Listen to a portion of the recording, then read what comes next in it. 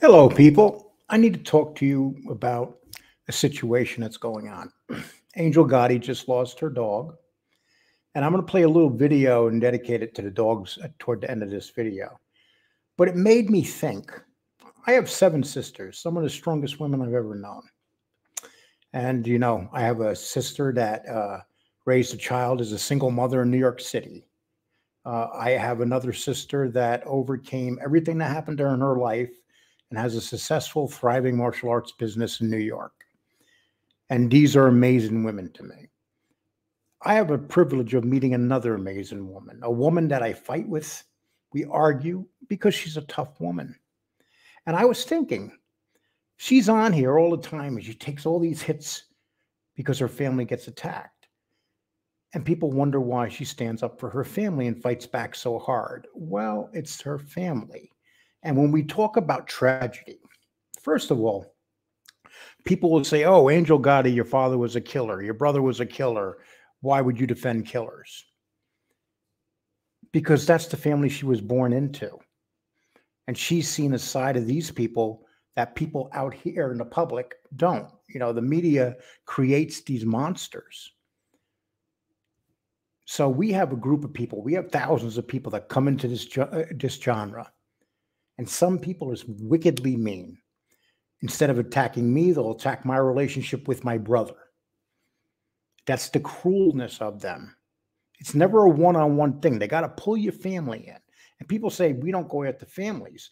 But every time you say to Angel Gotti, oh, your father was a killer, you're going after her family. So, what's the difference if what gives anybody the right of saying that if they don't want their family going, uh, people going after their family. Sure, are these people? Is John Gotti a, a figure that's going to be well known for centuries? Yes, but it's still her father. And I look at it this way: we're lucky enough to have Angel Gotti in this genre. I'm lucky enough to be able to pick up the phone and talk to Angel Gotti. And she's very sad today because she lost her dog. I'm going to play a video and it gives you kind of an idea. Angel has a thing on her uh, page that says, um, I, I will take my an animal, my dogs over uh, people. I feel the same way, and a lot of people do. It's just the way it is. And uh, she's sad because this her dog's been with her for 13 years. I got my Polly. When Polly goes, uh, I don't know what I would do. I, I dread the day. But this stuff happens. And you know, I was thinking about all the tragedy that Angel Gotti has gone through and the way she's attacked on here. Uh, she talks to me about Joey Scopo. Now, Joey, good looking guy, a friend of the family.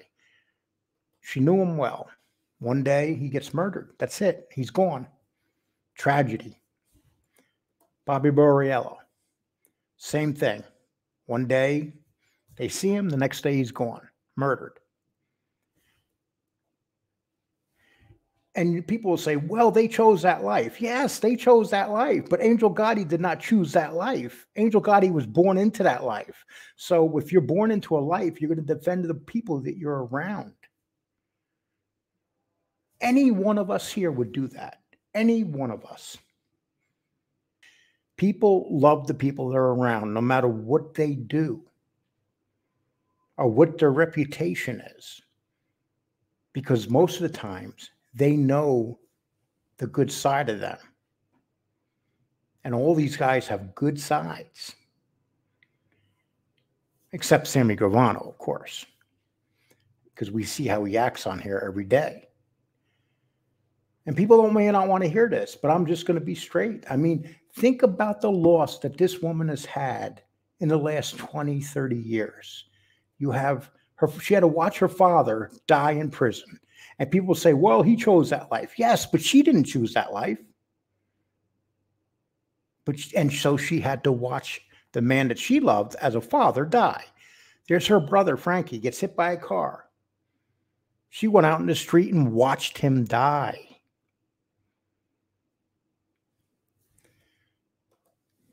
Her ex-husband louis albano died in the house where she is, died in the, the her daughter's bed. more tragedy. And you know it, and then you'll still have people cruel, so cruel on here that they'll attack and say the most horrible things. You'll have people say Frankie's mini bike and they use it. And you guys are going to choke on a chicken bone or die in hell for doing something like that. We just don't understand until, you know, I never knew, I never really thought about what Angel Gotti goes through until I met her as a friend. And our relationship has grown and grown. She has a wonderful daughter. Her son is a great father works hard, does everything with his children. That's the Angel Gotti that I know. But I also know the Angel Gotti that don't take no BS and she'll fight back anybody any day. But she has such a good heart. I'm sure I can ask her to, to help me in any way. She gave me the honor of helping her with Patreon. And we're on that together. She didn't have to do that. There's a million other people she could have done that with.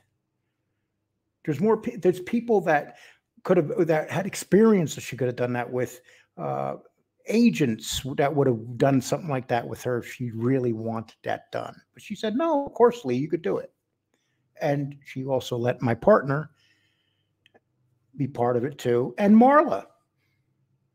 Angel met Marla on here. They become good friends. Angel met Angela. Well, I'm not sure where they met, but Angela's on here and they become good friends. Angel has a lot of friends on here. You know, when we started the Patreon page, you know, we have a lot of women on that page. You know, they say only 5% of the genre is women, but uh, half of the uh, Patreon page are women. So I think that the people that that are her friends and now they they say really bad shit about her. I can't understand you. There's a couple of yous that, if you remember correctly, Angel defended you guys, even when she knew it was a lost cause. She still defended you, even when she knew that you're probably guilty. She still defended you. When people attack, attack me, she defends me. Who can ask for better friends than that? And eventually they'll stick her in the back. I don't think that that will ever happen. I think Angel and I will have fights. Heck, tomorrow we might have a fight. But I will still sit back and miss her and want to pick up the phone and talk to her because she's my friend. Not because she's John Gotti's daughter, because she's my friend. I've developed a friendship with her daughter. I like her daughter. She's a good woman. She works like a she works 60 hours a week a, week. She's uh, pregnant and she still works like a dog. This is the people that I came to know. And it's funny because I felt like I lost my dog today when her dog died. That's what happens. You know, I love animals. And they eh, eh, eh, and when I and when this happened today to her, I went to Polly and I hugged, hugged Polly. It might sound corny, but you know, you guys sitting at home, you're all kind of corny with your animals too. You act like a bunch of tough guys, but if anything happened to your animals, you would cry like a baby. I'm going to put something up that Angel put up about a year ago, and these this is Chanel uh, and Gucci, and um, I didn't know she had this until I looked for it. But I want to put this up, and, then I'm going to play it.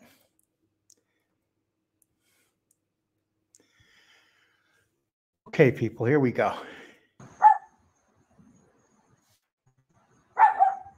All right, Chanel, come here. Chanel. Not you. I called Chanel, not you. Not you. Not you, Lola. I called Chanel. A Lola.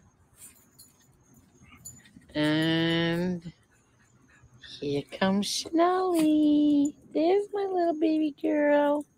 There's mommy's girl. She's so pretty. She's dirty but pretty. And what about Gucci? Gucci. Want a treat? Yep, I know it. All right, come on, I'll give you a treat.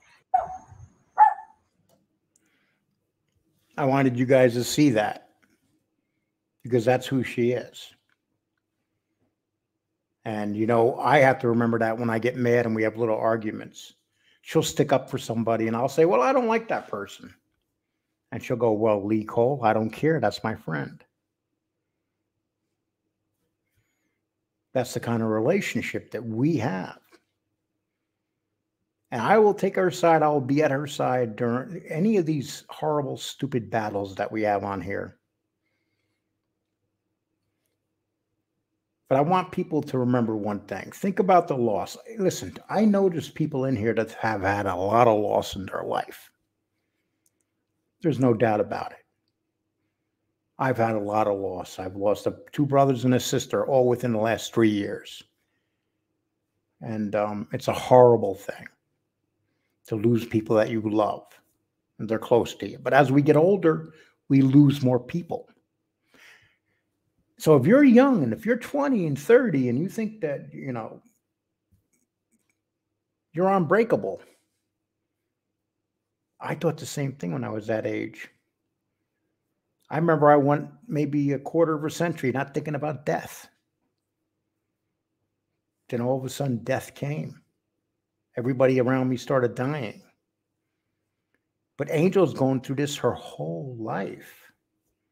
She had no period of no one dying. There's always been some type of tragedy. And that's why I say she's the strongest one of the strongest women I've ever known. And I'm sure her mother is just as strong, or her daughter, because they've all been part of these losses.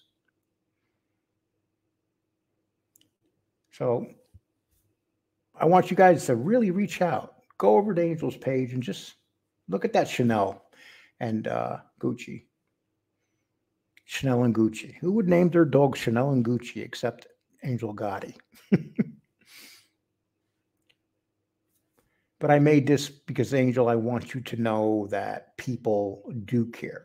People do understand what you're going through in your life.